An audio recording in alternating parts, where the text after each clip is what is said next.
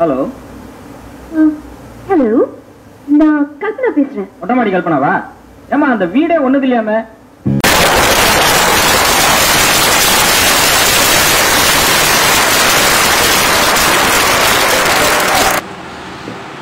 நண்பர்களுக்கு வணக்கம். இது வந்து இந்த மொட்டை மாடி கல்பனா அப்படின்னு ஒரு புது செக்மெண்ட் ஒன்று நம்ம ஸ்டார்ட் பண்ணலாம்னு யோசித்தோம் என்னென்னா அந்த ஃபேமஸான அந்த படம் நீங்கள் பார்த்துருக்கீங்க கஜினியில் ஒரு சீன் வரும். அது ஒரு டெலிஃபோன் கம்பெனி அது மொபைல் கம்பெனி வந்து நாங்கள் மொபைல் டவர் வைக்கிறதுக்கு இந்த மொட்டை மாடி வேணும்னு அந்த பொண்ணுகிட்ட கேட்கும்போது அந்த பொண்ணு வந்து அதெல்லாம் கொடுக்க முடியாது அப்படின்னு பந்தா பண்ணும் அப்புறமா திருப்பி அந்த அந்த பொண்ணு ஃபோன் பண்ணும்போது ஏமா அந்த மொட்டை மாடியே உண்டு இல்லையா? நான் என்னவோ விற்க மாட்டேன் அப்படின்னு பெருசாக சீன் கூட அப்படின்ற மாதிரி கேட்பாங்க. அதே தான் இங்கே இந்து மதத்துலையும் இருக்குது நிறைய பேர் வந்து இந்து மதத்தில் என்னெல்லாம் வந்து ஆபாசமான கதைகள் இருக்குன்னு சொன்னாங்க. நம்ம அதை அது அவங்க பண்ணட்டும். நம்ம வேறு ஏதாவது ஒன்று சொல்லணும். என்னென்னு பார்த்தீங்கன்னா இந்த இந்து மதத்தில் இருக்கிற முக்கால்வாசி கதை வந்து எல்லாமே பௌத்த மதத்துலேருந்து திருடின கதை இன்றைக்கி நம்ம பார்க்க போகிறது யாருன்றதை நீங்களே கண்டுபிடிப்பீங்க. இந்த க கதைகளோட தொகுப்புக்கு பேர் வந்து ஜாதக கதைகள் அப்படின்னு பேர். இங்கிலீஷில் தேடினீங்கன்னா ஜடாகா ஸ்டோரிஸ்ன்னு இருக்கும். J A D A K A Jataka டேல்ஸ்ன்னு இருக்கும். தமிழ்லனா ஜாதக கதைகள் புத்தர் ஜாதக கதைகள்னு பேர். தேராவாத பௌத்தம் அப்படின்னு சொல்லி பௌத்த மதத்தில் அந்த மகாயணம் ஹீனயானம்னு பிரியறதுக்கு முன்னாடி தேராவாத பௌத்தம்னு ஒரு வகையான மதம் மதம் இருந்தது.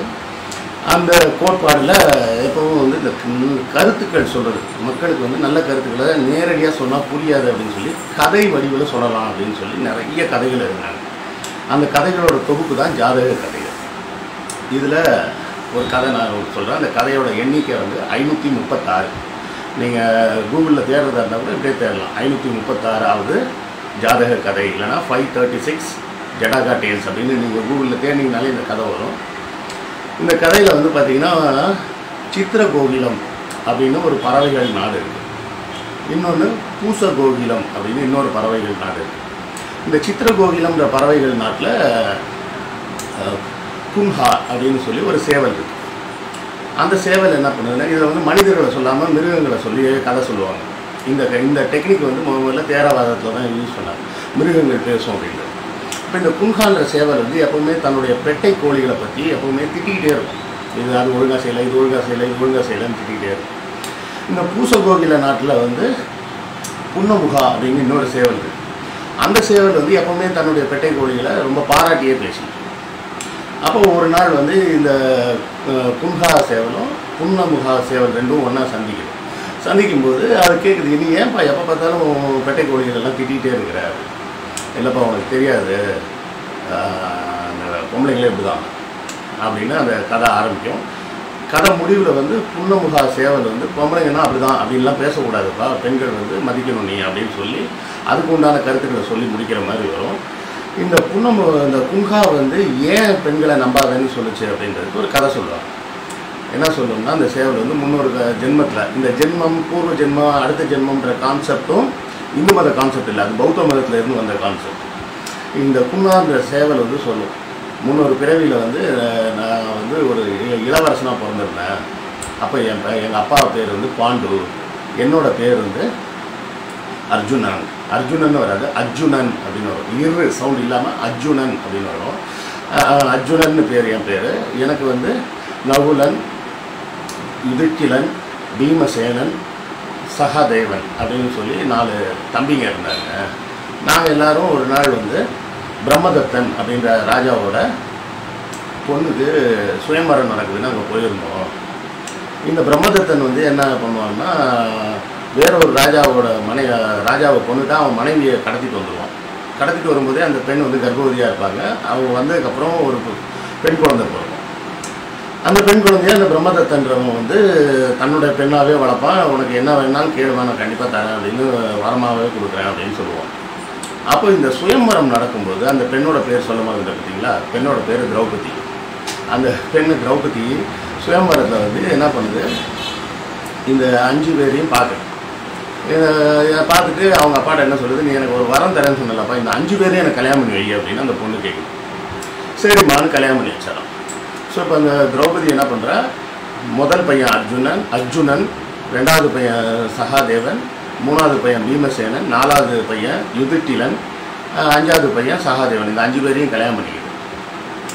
ஆனாலும் கல்யாணம் பண்ணி கொஞ்ச நாள் வாழ்கிறாங்க அதுக்கப்புறம் ஒரு மாதிரி அந்த பாஞ்ச அந்த திரௌபதிக்கு வந்து உடம்பு சரியில்லாமல் மரணப்படுக்கையில் படுத்துடுறாங்க அப்போ மரணப்படுக்கையில் அவள் படுத்திருக்கும் போது அர்ஜுனன் வந்து அவள் தலைமாட்டில் நின்று அவள் அவள் தலையை பிடிச்சிட்டு அவளை நான் அவனை பார்த்துக்கிறேம்மா அப்படின்னு சொல்லி ஆதரவாக நிற்கிறான் ஒரு வலது கை பக்கத்தில் யுதிட்டிலனும் இடது கை பக்கத்தில் பீமசேனனும் வலது கால் பக்கத்தில் சக ந- நகுலனும் இடது கால் பக்கத்தில் சகாதேவனும் அவள் காலை பிடிச்சி அமுக்கி விட்டு பணிவிடைகள் செஞ்சிட்ருக்காங்க இந்த அஞ்சு பேரும். அப்போது இந்த பெண் திரௌபதி என்ன பண்ணுறாளாம் தலையை பிடிச்சிட்டு இருக்கிற அர்ஜுனனுக்கு ஒரு சைகை கட்டுறாளாம் இந்த அஞ்சு பேர்லேயே எனக்கு ஒன்று தான் ரொம்ப பிடிக்கும் அப்படின்னு. அதே மாதிரி க ஒரு கையை பிடிச்சிட்டு இருக்க பீமசேனனுக்கு கையால் ஒரு சைகை கட்டுறாளாம் ஒன்று தான் எனக்கு பிடிக்கும்னு. யுதிட்டியில் நான் பத்து கையை கட்டுறா. ஒன்று தான் எனக்கு ரொம்ப பிடிக்கும்னு. இதே மாதிரி காலை பிடிச்ச ஒவ்வொருத்தருக்கும் ஒன்று தான் எனக்கு ரொம்ப பிடிக்கும் அப்படின்னு அஞ்சு பேருக்கும் தனித்தனியாக சைகை காட்டினா. சரி அப்போ இதான் அர்ஜுனனாக அர்ஜுனனா இருந்தேன் நான் பார்த்தேன். ஆனால் எங்கள் அஞ்சு பேருக்கு மட்டும் அவள் கையை கண்ணை சைகை காட்டி ஒன்று மட்டும் தான் பிடிக்கும்னு சொல்லலை. அந்த ரூமில் அவளுக்கு வேலைக்காரனா நாங்கள் ஒரு கூணனை வச்சுருந்தோம். அவங்க கூண் இந்த மாதிரி இருப்பான். அந்த கூணனை வச்சுருந்தோம். அந்த கூணனுக்கு ரகசியமாக ஒரு செய்கை காமிச்சா இவங்க அஞ்சு பேரையும் தாண்டி எனக்கு ஒன்று தான்டா பிடிக்கும் அப்படின்னு. அதனால தான் எனக்கு பெண்கள்லாம் பிடிக்காது அப்படின்னு இந்த கூண்கான்ற சேவல் சொல்லும். அதுக்கு பதிலாக இன்னொரு கதையை இந்த இன்னொரு சேவல் இருக்கு பார்த்தீங்களா புன்ன புன்னமுகா இந்த புன்னமுகா சேவல் வந்து அதுக்கு ஒரு கதை சொல்லி நீ அப்படி பெண்களை பார்க்கக்கூடாது. பெண்களை நீ வந்து தப்பாக நினைக்கிற. பெண்களில் வந்து வேற மாதிரி இருக்காங்க. நல்ல அவங்களோட குணாதிசயங்கள் எப்படி இருக்கும் அப்படின்னு அது பெண்களை பற்றி உயர்வாக சொல்கிற பாட்டை வந்து புன்னமுகா சொல்லும். அது வேற ஒரு க அது ஒரு கதைன்னு வச்சுக்கணும் அதுக்குள்ளே போகலை.